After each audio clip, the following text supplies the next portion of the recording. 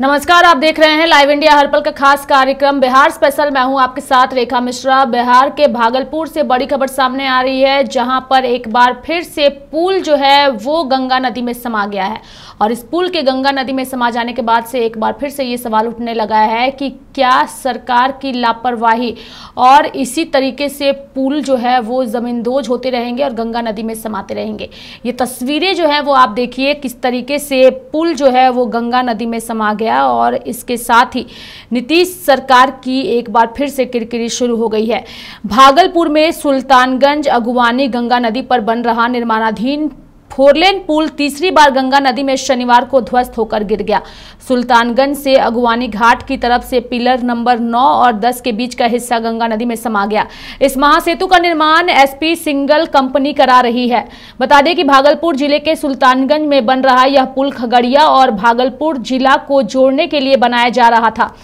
पहले भी 4 जून 2023 को सुल्तानगंज अगुवानी गंगा नदी पर बन रहा निर्माणाधीन फोरलेन पुल जमींदोज हो गया था। निर्माणाधीन पुल का सुपर स्ट्रक्चर नदी में गिर गया था। वहीं पुल पर ड्यूटी कर रहे दो गार्ड भी हादसे के बाद से लापता हो गए थे।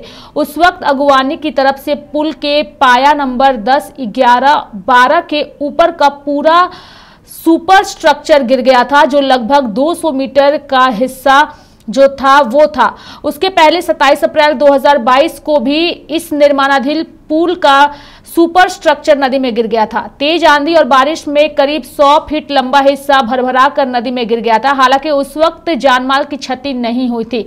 इसके बाद पुल निर्माण का काम फिर शुरू हुआ और इस बार करीब 80 प्रतिशत काम सुपर स्ट्रक्चर का पूरा हो गया था। इतना ही नहीं, अप्रोच रोड का काम भी 45 फ़ीसदी पूरा कर लिया गया था। बता दें कि सरकार की ये महत्वाकांक्षी परियोजनाओं में से एक है।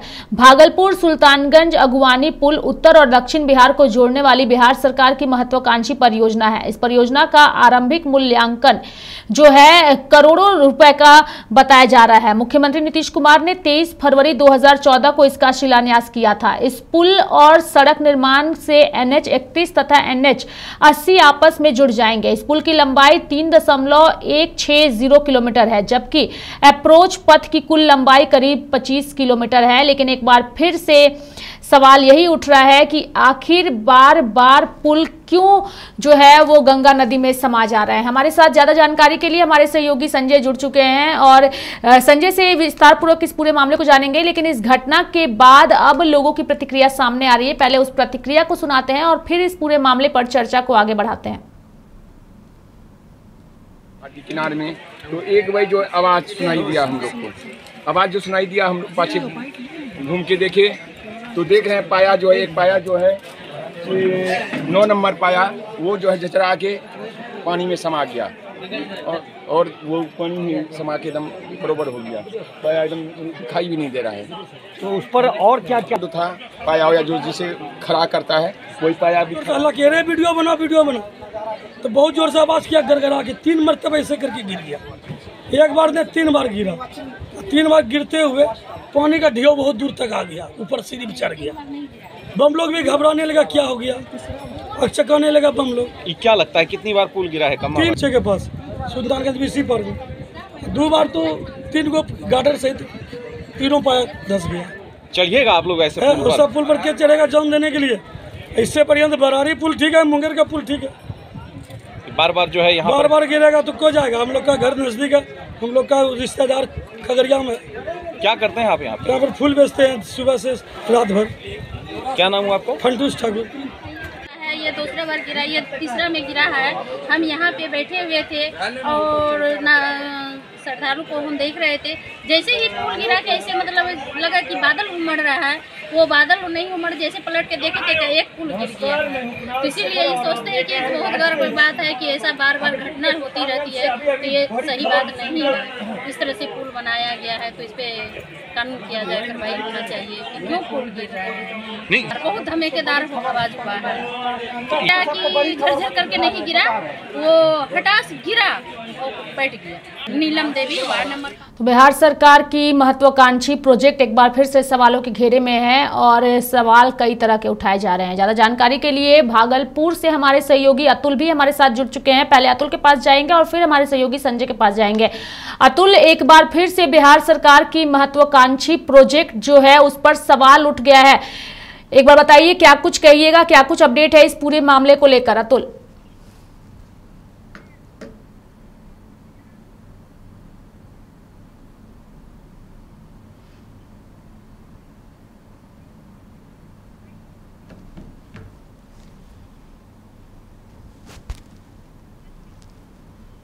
जी, अतुल अतुल बोलिए। 2014 में स्कूल का नींव डाला गया था और इसका शिलान्यास माननीय मुख्यमंत्री नीतीश कुमार के द्वारा की गई थी। और जब से ये पुल का बनना शुरू हुआ है, तब से ये सवालों के घेरे में रहा है। और मैं बताना चाहूँगा कि सर्वप्रथम ये 2022 में ये पुल गिरना शुरू हुआ था और लगातार तीन साल के दरमियान में ये पुल तीसरी बार गिर चुकी है। और यहाँ के जो स्थानीय लोग हैं, उनका यहाँ तक ये भी कहना है कि अब अब ये अगवानी सुल्तान गंगा पुल के नाम से ही भय लगता है, उस पर चढ़ने का तो बात दूर है। और मैं ये भी बताना चाहूँगा कि ये पुल 1710 करोड़ की लागत से बनना था और इसे बढ़ा करके 1750 करोड़ किया गया और तीसरी बार फिर बढ़ा करके इसे दो हज़ार से केवल 2000 से ज़्यादा की राशि इसको आवंटन की गई है इस पुल को बनाने के लिए। लेकिन कहावत में जो कही गई है कि ढाक का वही तीन पार और वो सामने, वो तो कहानी में सुने कर, सुना करता था, लेकिन ये इस पुल को देखने, इस पुल का नज़ारा देखने से ये साफ़ पता चलता है कि वो कहावत इस पुल पर सही साबित हो रही है। जी। बिल्कुल और इसके साथ ही अगर अगर अतुल हम, अगर हम अतुल ये बात करें कि जो कंपनी है, वो अगले कुछ ही महीने में इसे चालू करने का दावा कर रही थी तो अगर ये पुल चालू होता और चालू होने के बाद धरसाई होता तो कितने जानमाल की क्षति होती? आपने भी साफ़ तौर पे कहा कि लोग अब इस पुल पर डरने से, चढ़ने से भी जो है, वो उनके अंदर एक भय आ गया है कि अगर इस पुल का आने वाले दिनों में निर्माण हो भी जाता है तो हमें इस पर चढ़ने में भी डर लगेगा है कि जब ये स्थिति बनने के तक अभी बनी नहीं है पुल और बार बार ये तीसरी बार गिर चुकी है और इसके नाम से ही, इस पुल के नाम से ही अब भय, लोगों में भय का माहौल बना हुआ है। तो उस पर चढ़ने की तो अलग बात है।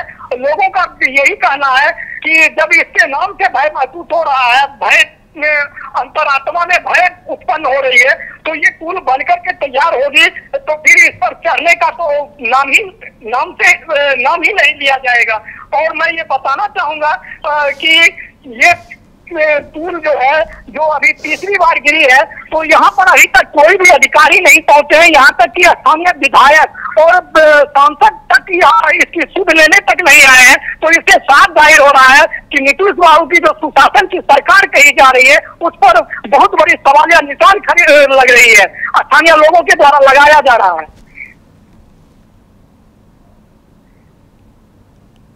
चलिए, स्थानीय लोगों के द्वारा लगाया जा रहा है धन्यवाद। अतुल हमारे साथ जुड़ने के लिए और तमाम जानकारियाँ देने के लिए और इसी मामले पर हमारे साथ हमारे सहयोगी संजय भी जुड़ चुके हैं। संजय का रुख करेंगे।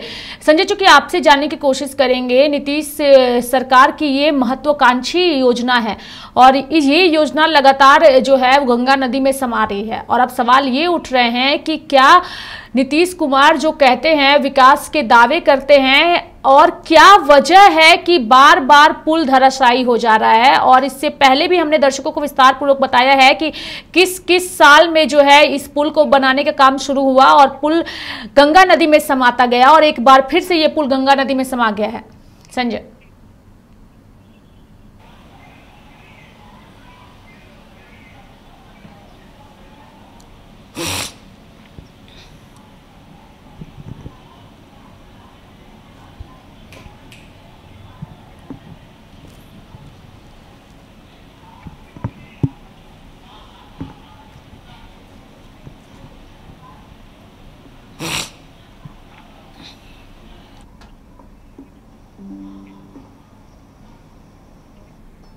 पसंद आएगा या नहीं?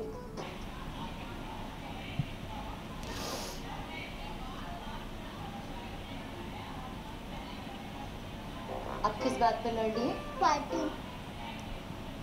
आ, बिल्कुल। देखिए रेखा जिस तरीके से बिहार में कुछ हो ना हो पुल गिरने का सिलसिला लगातार जारी है। अभी तक आप बात कर ले तो जिस तरीके से मानसून आया उसके बाद से ही लगातार पुल का गिरने का सिलसिला बिहार में देखने को मिल रहा है। अगवानी पुल लगातार चर्चा में है और सुर्खियों में है। अगवानी पुल की चर्चा उस समय से हो रही है जब से ये पुल का निर्माण हो रहा है। 2016 से इसका काम शुरू हुआ और अभी तक ये पुल जो है वो चर्चा में है। अगवानी पुल भागलपुर से खगड़िया को जोड़ने वाला ये पुल है और झारखंड को भी जोड़ता है। तो ज़ाहिर सी बात है कि जो ग्रामीण इलाके के लोग हैं, जो गंगा के उस पार रहने वाले लोग हैं सुल्तानगंज के इलाके में, सुल्तानगंज चर्चा इसलिए होती है क्योंकि बाबा बैद्यनाथ का रास्ता है और देवघर जाने का रास्ता है, वहाँ पर अजगेवी नाथ है। तो लाखों श्रद्धालु जो है वहाँ पर आते हैं और अजगेवी नाथ सुल्तानगंज से उत्तर वाहिनी गंगा लेकर वो देवघर के लिए जाते हैं। तो ज़ाहिर सी बात है कि ये पुल बनता तो लोगों को काफ़ी सहूलियत होती। यातायात अच्छी तरीके से सुचारू रूप से चलती और लोगों को काफ़ी सहूलियत होती। लेकिन ये पुल करीबन जो है, दो सालों के अंदर जो है, तीन बार पुल ध्वस्त हो चुका है। जब से ये काम शुरू हुआ, तब से ही पुल गिरने का सिलसिला लगातार जारी है और अब एक बार फिर से जो है, सिंगला कंस्ट्रक्शन कंपनी है, उसको ब्लैकलिस्टेड करने की मांग लगातार विपक्ष की तरफ़ से की गई थी। ये मामला जो है सदन में भी गूंजा था। विधानसभा के जो सत्र चल रहे थे, उस सत्र में लगातार इसके लेकर सवाल उठे थे। उन उसमें कई इंजीनियरों को सस्पेंड भी किया गया था, हटाया गया था। कई उसमें जो लोग मौजूद थे, कर्मचारी, उन्हें भी हटाया गया था। लेकिन कहते हैं ना कि छोटी मछलियों को हमेशा टारगेट किया जाता है। बड़ी मछली अभी भी कहीं ना कहीं शिंगला कंस्ट्रक्शन कंपनी के जो मालिक हैं, उन पर कार्रवाई नहीं हुई है। मामला सुप्रीम कोर्ट में भी चल रहा है। और पुल जो बिहार में लगातार ध्वस्त हो रहे हैं जल समाधि ले रहे हैं। इसको लेकर सु, सुप्रीम कोर्ट में भी मामला उठा है और सुप्रीम कोर्ट ने भी याचिका दायर की है इसको लेकर। तो कहीं ना कहीं सिंगला कंस्ट्रक्शन ग्रुप को ब्लैकलिस्टेड करने की मांग एक वक्त में काफ़ी की गई थी विपक्ष के द्वारा। जो है उस वक्त भी नेता प्रतिपक्ष तेजस्वी यादव थे। और इस वक्त भी जो पाया संख्या नौ गिरा है, वहाँ इस वक्त भी नेता प्रतिपक्ष तेजस्वी यादव हैं। तो कहीं ना कहीं पुल गिरने का सिलसिला लगातार बिहार में चल रहा है और अगवानी पुल की चर्चा उस वक्त से हो रही है जब से मुख्यमंत्री नीतीश कुमार ने इसका शिलान्यास किया है। उस वक्त से ही और उद्घाटन करने का तीन बार जो है तारीख बदला है। एक वक्त में था कि 2024 में इसे उद्घाटन किया जाएगा, फिर 2025 के अंत में किया जाएगा, लेकिन अब इसकी तारीख 2026 में कर दी गई है। यानी चुनाव के बाद, विधानसभा के जो चुनाव होने हैं बिहार में 2025 में, उसके बाद होंगे 2026 में। तो कहीं ना कहीं इस पुल के गिरने का सिलसिला लगातार जारी है और इसको लेकर बिहार में सियासत भी खूब हुए थे। विपक्ष ने कई सवाल उठाए थे, सड़क से लेकर सदन तक ये मामला गूंजा था और भागलपुर के लोग और भागलपुर के जो विधायक हैं, भागलपुर के जो सांसद हैं, इसको लेकर सरकार को उन्होंने घेरा था और कई बार इस बात को लेकर चर्चाएँ उठी थी और सिंगला कंस्ट्रक्शन ग्रुप को ब्लैकलिस्टेड करने की मांग सरकार की तरफ़ से की गई थी।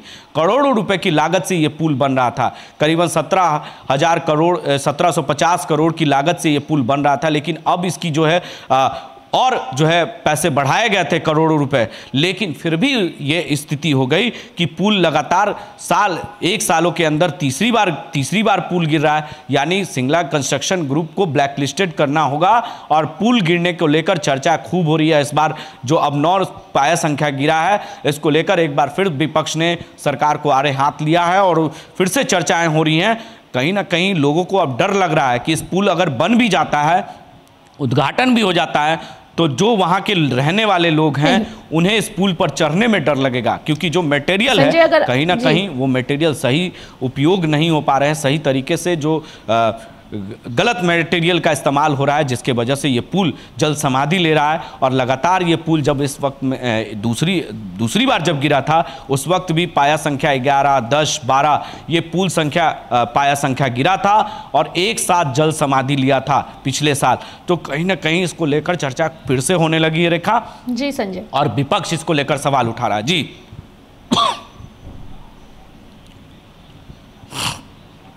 जी संजय।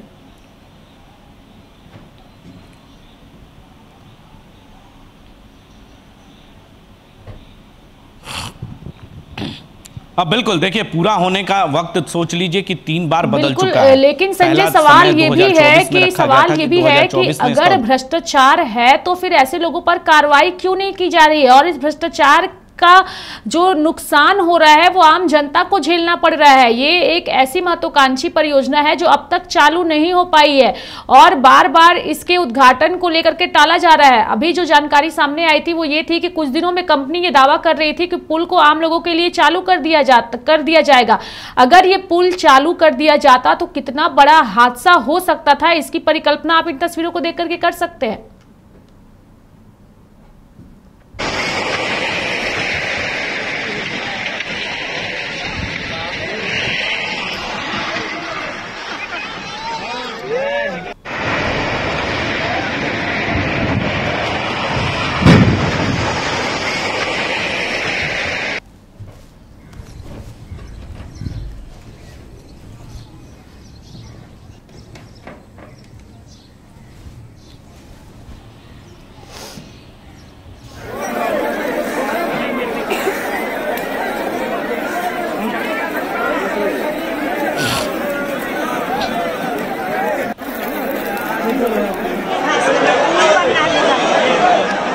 बिल्कुल देखिए पुल जब अगर ये पूरे काम हो जाते हैं मुख्यमंत्री नीतीश कुमार इसका उद्घाटन करते क्योंकि सरकार की महत्वाकांक्षी योजना है तो ज़ाहिर सी बात है कि मुख्यमंत्री चाहते हैं कि 2025 के विधानसभा चुनाव से पहले इसकी उद्घाटन हो जाए। और आनंद फानन में अगर उद्घाटन कर दिया जाता और इसकी सुचारू रूप से ये पुल शुरू हो जाता तो ज़ाहिर सी बात है कि बड़ा हादसा हो सकता था, बड़ी घटना हो सकती थी। लेकिन इसमें बड़े लोग नहीं फंसते हैं रेखा। इसमें वैसे छोटे अधिकारी और छोटे कर्मचारी फंसते हैं, इंजीनियर फंसते हैं, स्कूटी जो इंजीनियर होते हैं, वो फंसते हैं। तो कहीं ना कहीं बड़े जो मालिक हैं इसके कंस्ट्रक्शन के, वो नहीं फंसते। मटेरियल में कहीं ना कहीं मटेरियल में कटौती की गई है। इसमें भ्रष्टाचार का पुल है, ये कह सकते हैं। कि ये पुल जो बन रहा है, ये पुल का जो ढांचा तैयार हो रहा है, ये भ्रष्टाचार के बलि चढ़ रहा है। क्योंकि जब बड़े अधिकारियों को मोटे मोटे रकम पहुँचाने होंगे, मंत्रियों को मोटे मोटे रकम पहुँचाने होंगे तो ज़ाहिर सी बात है कि वो कटौती तो मटेरियल में ही करेंगे तो पुल तो बनेगा ही दो नंबर का। और पुल जब दो नंबर का बनेगा तो इसी तरीके से पुल का जो पाया है, वो गिरता चला जाएगा और समय जो है बढ़ता चला जाएगा उद्घाटन के लिए। मुख्यमंत्री इस पर कार्रवाई कर क्यों नहीं रहे ये तो मुख्यमंत्री ही बता सकते हैं, उनके बड़े अधिकारी बता सकते हैं, जो इस विभाग के फोर लाइन पुल बनाने की बात फोर लाइन पुल बनाना था इसे। और फोर लाइन पुल बनाने से पहले इस पुल का काम जो है निर्माणाधीन चल रहा है और इसे 2024 में ही उद्घाटन करना था मुख्यमंत्री को।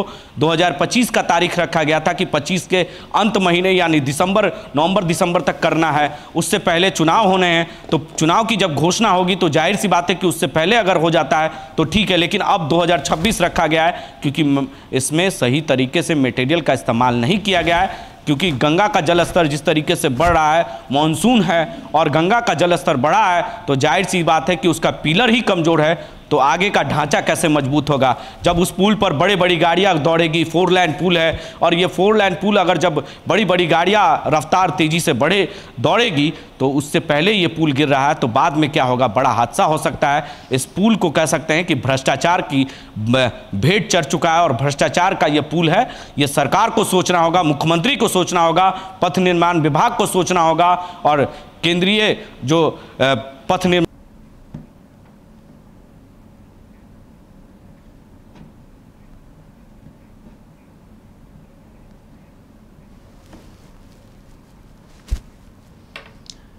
बिल्कुल संजय, कई सारे सवाल जो हैं वो उठ रहे हैं और उन सवालों का जवाब जो है वो सही तरीके से नहीं मिल पा रहा है। बहुत बहुत धन्यवाद संजय हमारे साथ जुड़ने के लिए और तमाम जानकारियाँ देने के लिए। तो भागलपुर में एक बार फिर से पुल जो है वो धराशायी हुआ है और गंगा नदी में समा गया है। ये नीतीश कुमार की महत्वाकांक्षी परियोजनाओं में से एक है, लेकिन इस महत्वाकांक्षी परियोजना को लेकर के अब कई तरह के सवाल भी उठ रहे हैं और सवाल यही है कि क्या ये पुल फिर से दोबारा जो है वो कभी शुरू हो पाएगा भी या नहीं? और अगर हो पाएगा तो क्या आम लोग इस पर चलेंगे या सफ़र करेंगे या नहीं? ये भी अब सवाल उठ रहा है, चूँकि आम जनता जो है, उनकी भी प्रतिक्रिया हमने दर्शकों को सुनाई। उनका साफ़ तौर पे यही कहना था कि अब इस पुल पर चलने से भी हमें डर लगेगा। देखने वाली बात होगी कि आने वाले दिनों में आज ये जो पुल गिरा है, इसको लेकर के किन लोगों पर कार्रवाई होती है और सरकार इस पर क्या कुछ कहती है? तो मेरे साथ फ़िलहाल बिहार स्पेशल में अभी के लिए इतना ही। आप देखते रहिए लाइव इंडिया हर पल। नमस्कार।